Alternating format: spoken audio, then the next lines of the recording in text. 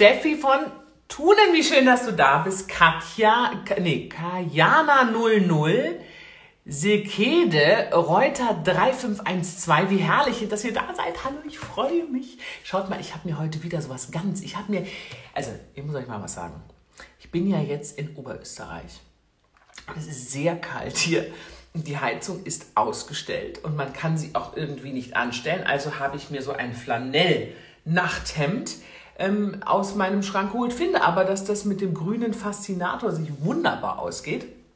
Und dann habe ich, äh, hab ich gedacht, für euch heute Abend, weil wir einen Selfie-Talk machen, ne? Ulig stilles Örtchen, endlich mal in Ruhe reden, der Selfie-Talk, habe ich gedacht,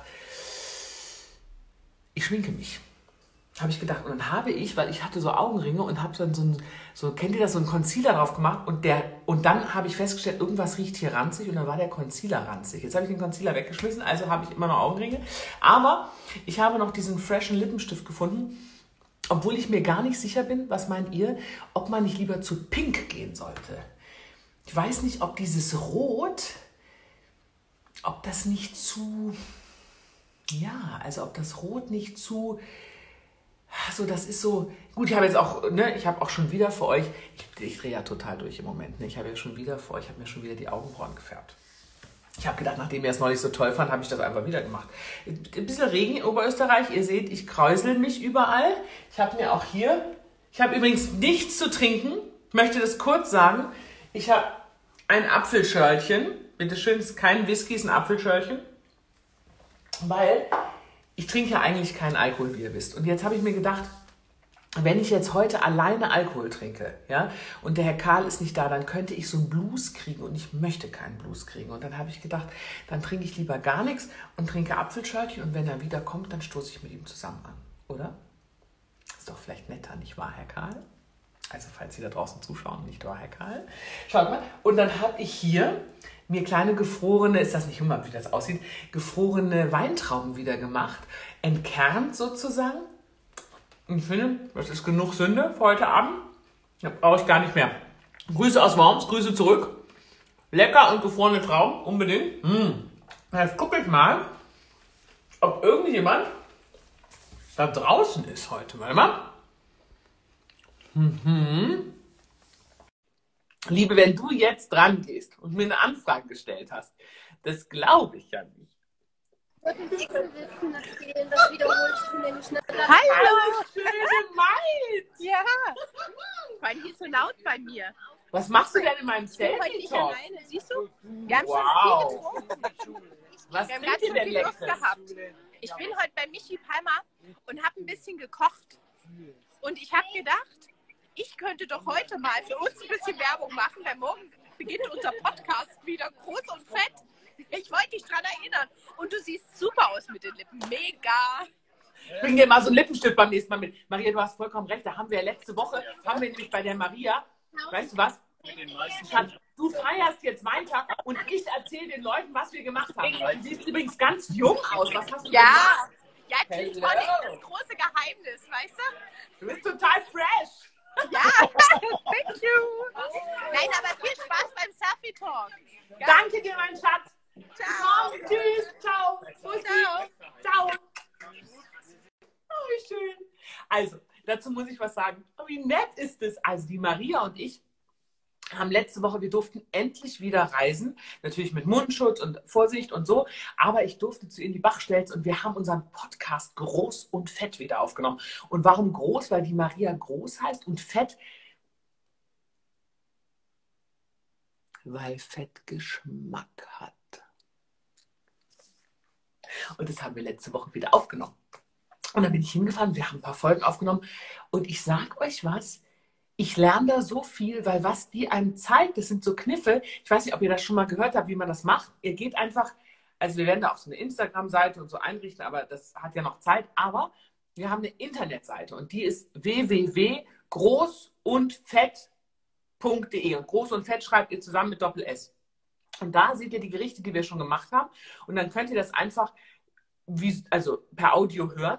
Und ihr könnt auch bei Audio Now, das ist so ein Umsonstportal, ja, von, von, da könnt ihr sozusagen, die helfen uns dabei, die machen das mit uns, da könnt ihr das umsonst runterladen und praktisch abonnieren. Und dann verpasst ihr keine Folge. Und montags, also morgen geht's los, da gibt es die Einkauffolge, was man einkauft. Und Mittwoch kochen wir dann das Gericht in Echtzeit in 30 Minuten. Und wir werden immer schneller, weil es geht darum, schnelle, leichte, lustige Gerichte zu machen, irgendwie die lecker schmecken und die mal anders sind. Und die Maria, die hat so, die hat so einen Pfiff, den ich überhaupt nicht reinbringen würde, weil ich das überhaupt nicht kann. Ja? Und das ist sehr gut. Und die haben wir eben wieder aufgenommen. Und morgen gibt es, glaube ich, Spargelsalat mit Erdbeeren und Zucchini. Sehr lecker. Für das Wetter, wenn es hell wird, wunderbar. So, wir essen heute noch da. Also hast schon gekocht, Nicole Rose. Super. Und jetzt kommt richtig gute noch dazu. Warte mal, ich schau mal. Wer ist denn heute noch alles bei, bei, unterwegs und hat mal. So, ihr glaubt nicht, wer jetzt sich anmeldet und mit reinkommen will. Na, wer kommt denn jetzt wohl? Hallo? Ulrich, du hast dir nicht ernsthaft geglaubt, dass du mich einfach so abwimmeln kannst. Na, fester Kerl? Na, du? Du dachtest, du Schlitzohr, du wimmelst mich einfach mal schön ab mit meinem Sonnenbrand und sagst Tschüss mit Ös, auf Wiedersehen. Hast du die hast du Rechnung die nicht mit mir gezogen. gemacht? Und hast du die Notbremse gezogen hinter dir Da habe ich die Notbremse gezogen hinter mir. und hast gedacht, da komme ich wieder. Da bin ich! Hi! Du, wo bist du? Ich bin in meiner Wiener Wohnung. Also für alle, die nicht wissen, wer hier ist, bitte stelle dich vor. Du hast jetzt 30 Sekunden Zeit. Warte, warte, dich Oh vorzustellen. Gott. Moment. Warte, warte, warte, warte, warte. Ich darf ja immer nicht piepsen, wenn du da bist. Pass auf, 10 Sekunden Zeit, dich vorzustellen. Und los. Also, mein Name ist Ferdinand Seebacher, ich komme aus Österreich, bin Schauspielkollege von Elena Ulich, habe mit ihr letztes Jahr gedreht und bin jetzt bereits das zweite Mal bei Elenas Stilles Örtchen. Schluss, das war's. Vielen Dank, Ferdinand. Denk dich jetzt nicht ab. Du hast mich nämlich, du hast mich nämlich vor letzte Woche, vor zwei Wochen so hässlich abgewürgt, dass ich ganz viel Respond bekommen habe. Ach, so schade, dass es plötzlich aus war. Ja, aber besser ist es schade, als wenn die Leute gesagt hätten, na gut, dass er weg ist, oder?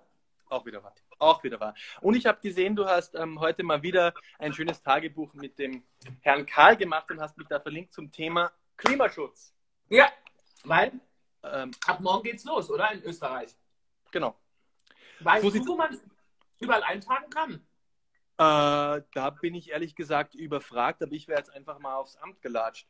Aber generell ist es ja unabhängig davon, wo man sich eintragen kann. Also ich bin ja, ähm, da ich jetzt schon ein naturliebender Mensch bin und mich viel in den Bergen begebe, ähm, äh, auch natürlich ein Naturfan und Naturschutzfan. Und ich finde, äh, Klima, Klimaschutz etc. ist einfach was, was ganz groß geschrieben gehört, weil das geht uns alle an. Weil wenn es nämlich, und das ist ganz betrogen, dass es derzeit ähm, so gräuslich ist, kreislich ist. Ich weiß nicht, du hast ja gerade gesagt vorhin, dass äh, deine Heizung nicht funktioniert, weil es kalt ist. Ähm, der Juni war ja äh, früher immer etwas kühler und das letzte Mal, dass er so kühl wie jetzt war, also so normal wie jetzt, ist ja schon äh, 100 Jahre her. Also Wirklich? ganz 100 Jahre, ja, ja, ist so. Also irgendwie sind, äh, ähm, weiß ich nicht mehr, was sind 95 Jahre oder was ist das letzte Mal äh, der, der Mittelwert äh, der Temperatur im Juni so war wie jetzt und das wäre eigentlich normal. Und ähm, so gesehen ist es gut, dass es jetzt mal kühler ist, soll aber nicht täuschen, dass wir alle was für den Klimaschutz tun müssen. Also raus. Und war nicht der April wahnsinnig heiß? Ja, der April war völlig absurd warm. Also im April Mhm. dacht, dachte ich mir so, oh Gott, es kann Sommer werden. Aber hat sich nicht eingelöst und jetzt ist es so, dass es ja eher kühler ist. Ich weiß jetzt ja nicht, wie es in OÖ ist, aber offensichtlich nicht sehr schön. Nee, aber ich sagte ja, wenn das Wetter schlecht wird, ja, kriege ich ja totale Gelüste aufs Wandern. Aufs Wandern, wenn das Wetter schlecht ist. Ja, Ich kriege ja. Ja? weil dann kann ich nämlich hochgehen zu einer Alm und kann ganz heimlich mit den Wams vollschlagen, ohne dass es alle sehen. Und dann auf dem Weg begegnet mir auch niemand. Das ist herrlich. Und es ist ganz praktisch, wenn man sich oben den Wams vollschlägt, weil dann braucht man nämlich nicht mehr zu Fuß runtergehen, dann kann man runterrollen. Mhm. Mhm. Hört, hört. Oder, was ich ja gerne mache, wenn das Wetter schlecht ist, dann bastle ich gerne. Hast du deine Eier mitgebracht? Ja, willst du sehen? Ja.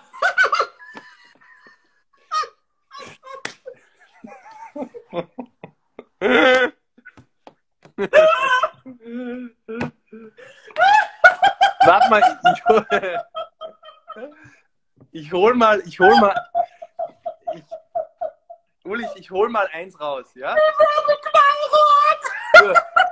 Uli, Uli, ich hol mal eins raus, ja? Aber nur eins! Kein Moment, warte. Bereit?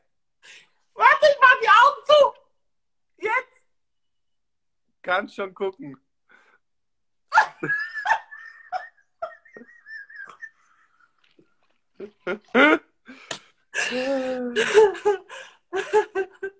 Also wir können ja für alle, die jetzt zugucken und sich äh, äh, fragen, was ist mit den beiden los.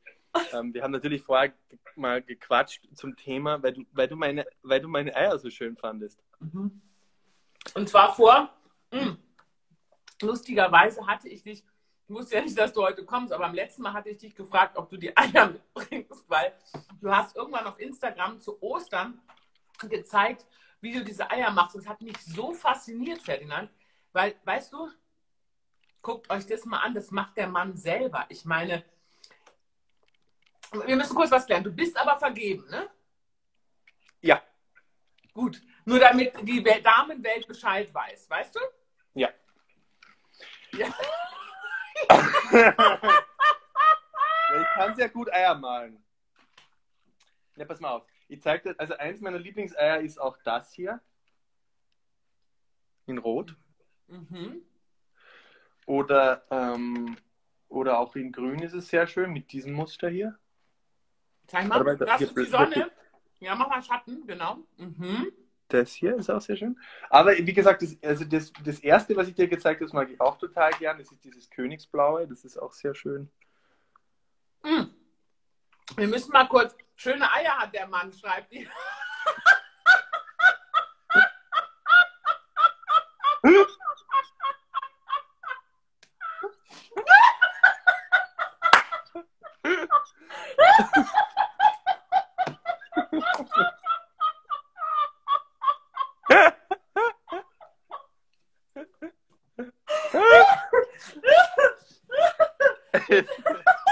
Schöne Eier steht hier. Selten einen Mann mit so schönen Eiern gesehen. Ich möchte die Eier auch mal sehen. Ja. ähm, ja, also meine, das sind meine Eier. Die finden, die finden viele Leute schön, meine Eier. Und daher zeige ich die auch gerne her, nicht nur zu Ostern. Jetzt erklär doch mal bitte. So, pass auf, das dauert kurz erklärt. Für, also, Also, pass mal auf. Also ich erkläre das ganz Fakt kurz. ist doch, dass wir jetzt anfangen können, und das ist doch das Wichtige, für Ostern nächstes Jahr die Eier vorzubereiten. Weil, Genau. wenn Ostern kommt, ist es zu spät, weil man braucht, das ist die sorbische Wachsmal-Eierkunst, oder? Genau, das ist die sorbische Wachsmal, also die sorbische Eierwachsmalkunst oder wie man immer sagt, aber die sorbische Wachsmaltechnik, um genau zu sein. Ich habe das gelernt von meiner Großmutter mütterlicherseits, die das uns als Kind schon beigebracht hat und ähm, habe das seither nie aufgehört äh, zu machen. Und wie man sieht, sind, werden das fantastisch schöne Eier, wenn man sich ein bisschen Mühe gibt.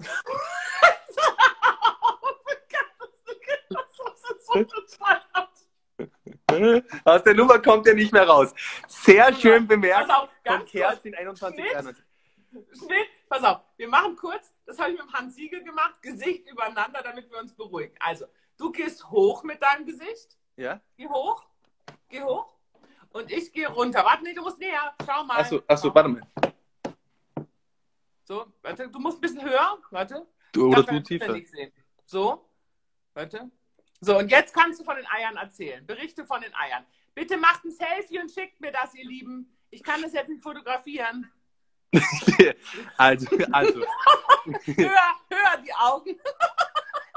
du bist doch die Augen, nicht ich. Du musst lachen jetzt. Ich lach doch. Du musst höher. Du, ja, jetzt, jetzt, jetzt, jetzt, jetzt. Also pass mal auf. Ähm, ich erzähle von den sorbischen Eiern. Meine Großmutter hat mir das beigebracht, ich habe nie aufgehört, das zu machen. Und es ist eigentlich ähm, recht einfach. Ich mache es jetzt normal, weil das macht mich verrückt, da kann ich mich nicht aufs Erzählen konzentrieren. Ja. Also ich habe mir geholt, es wird jetzt immer absurder, den sogenannten Blasfix. Zum. Eierblasen. Um Kein- 22.30 Uhr auf dem stillen Örtchen, da kann man über alles sprechen. Kein Witz, das Ding heißt Blasfix, das habe ich nicht erfunden.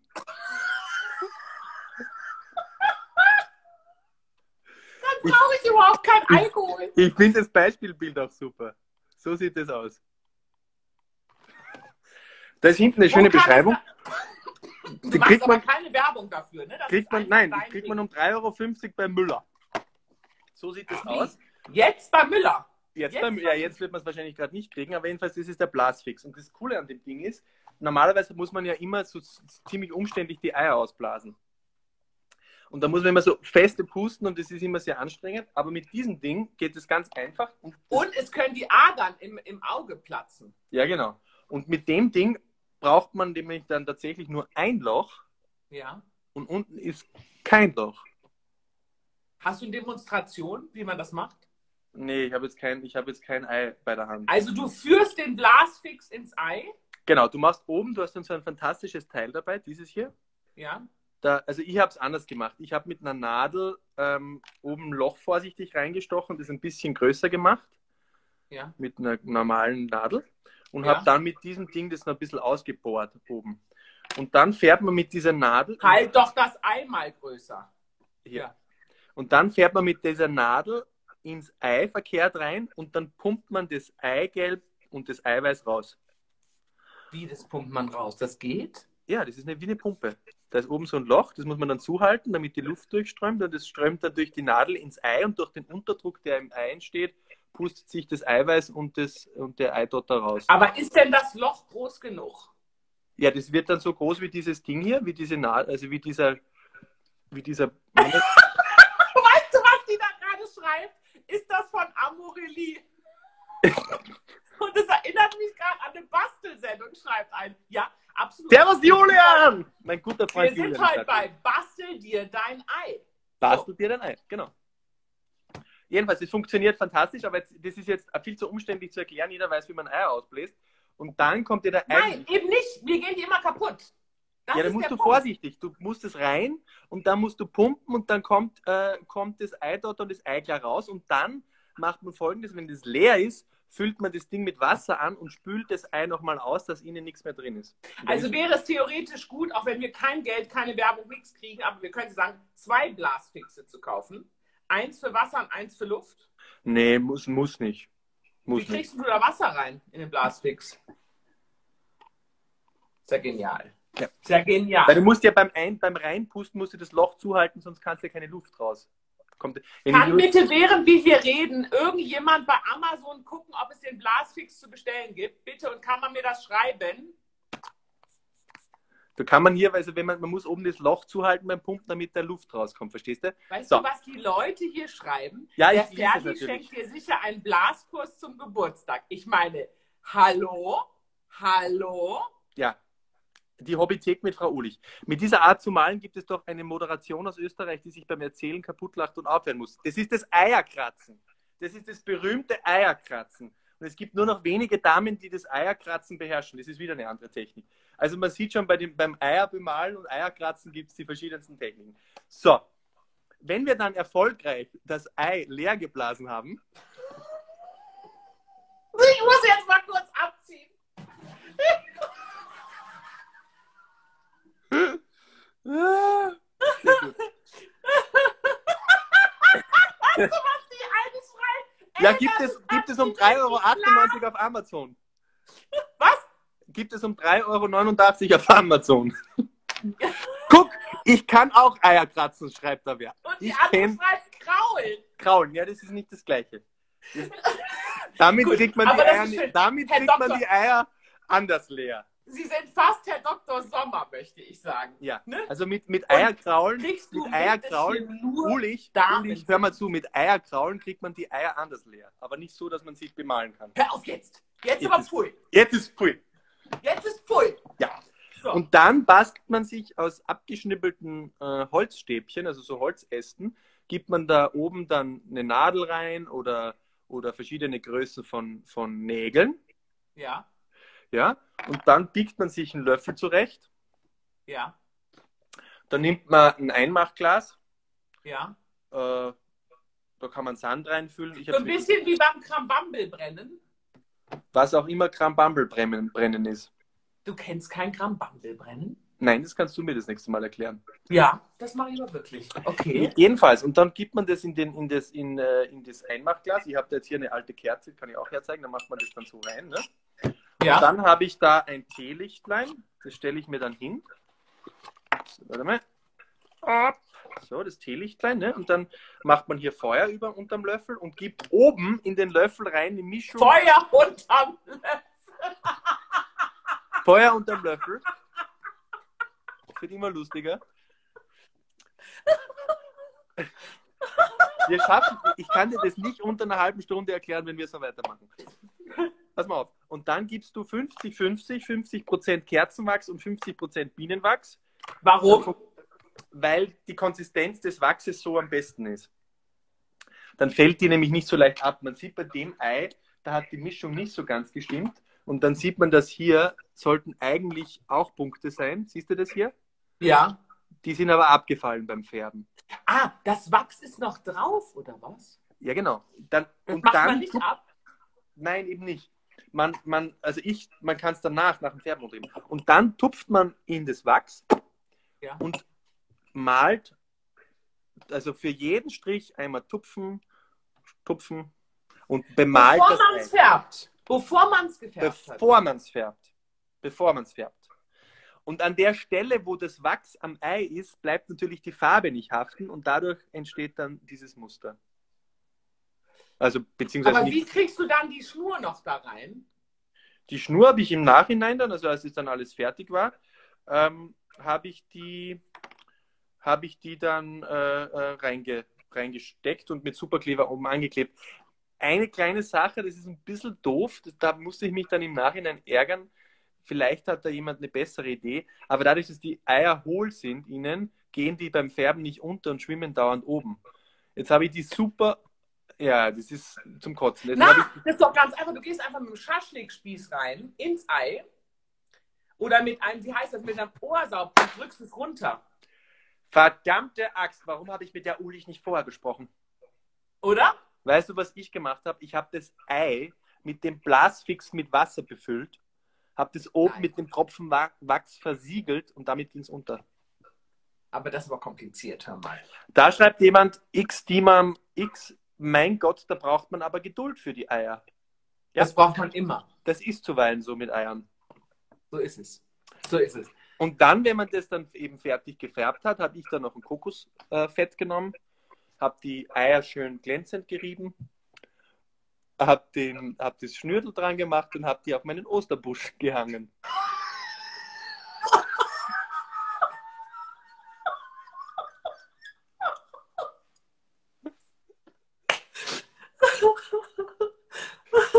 Also unter den Osterbuschen, wenn man es genau nimmt.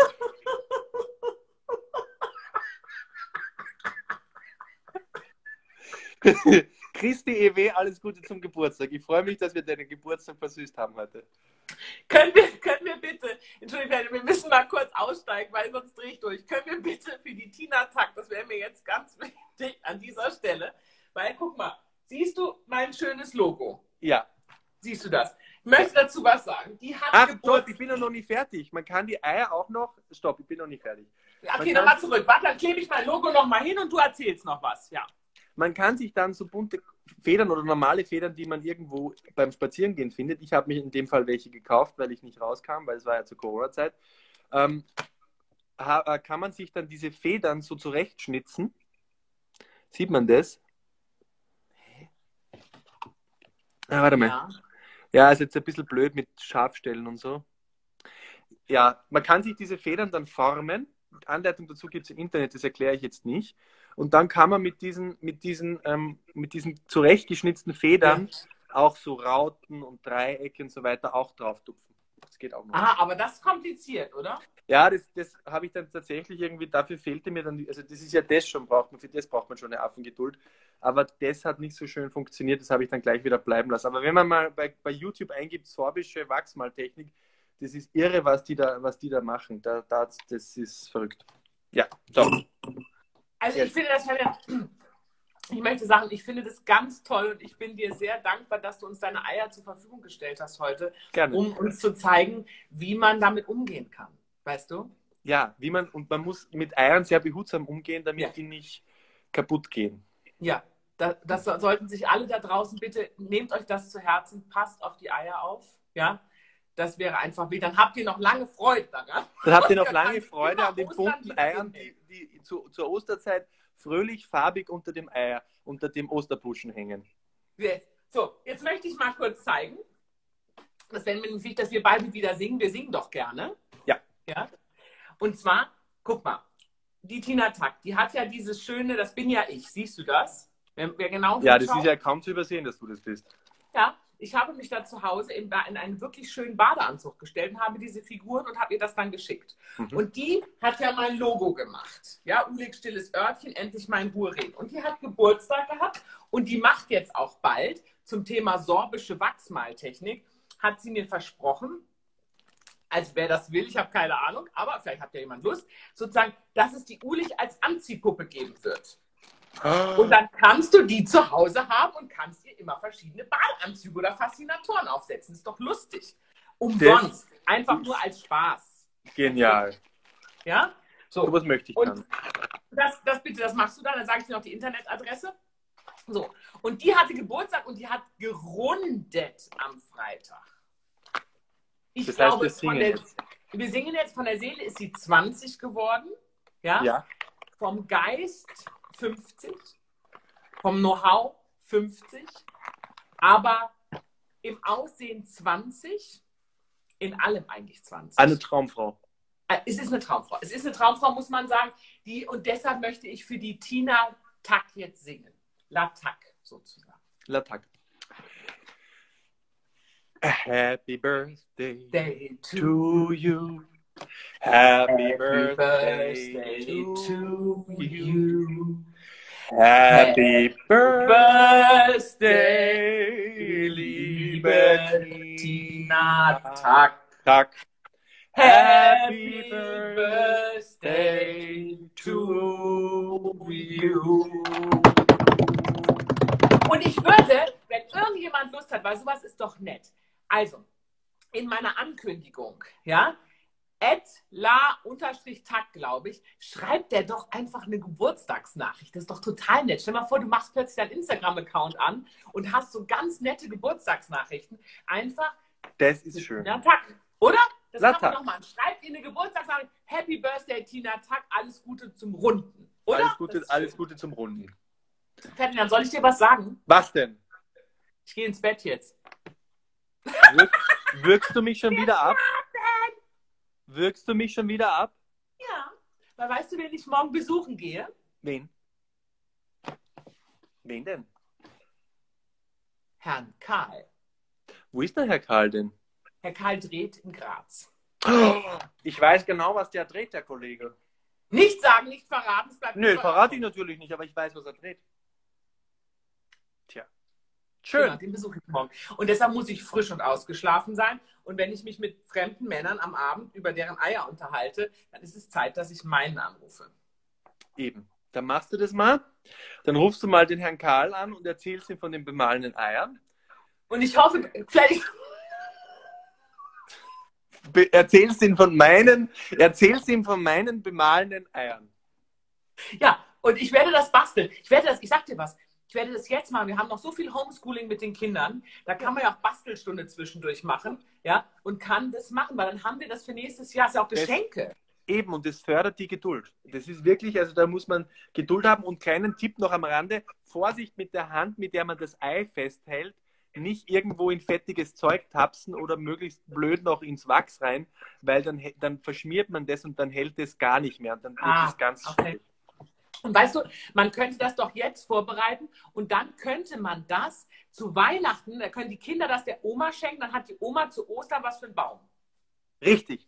Und so sehen wir uns aber dann dennoch äh, nächstes Jahr zu Gründonnerstag wieder und gucken, was wir für eine schönen Eier bemalt haben. So machen wir das. So machen wir das. Ferdinand, es war herrlich mit dir. Ich danke dir und wünsche dir einen wirklich schönen Abend. Ebenso. Bussi Papa. Bussi Papa. Ihr Lieben, so, ich, ähm, ja, es ist Zeit für mich ins Bett zu gehen. Es ist Zeit, mit euch noch ganz kurz was zu besprechen. Mein Selfie-Talk hat ja super geklappt heute. Ich meine, der war ja richtig weit vorn. Ähm, ich hätte euch viel zu erzählen gehabt, aber das machen wir einfach an anderer Stelle.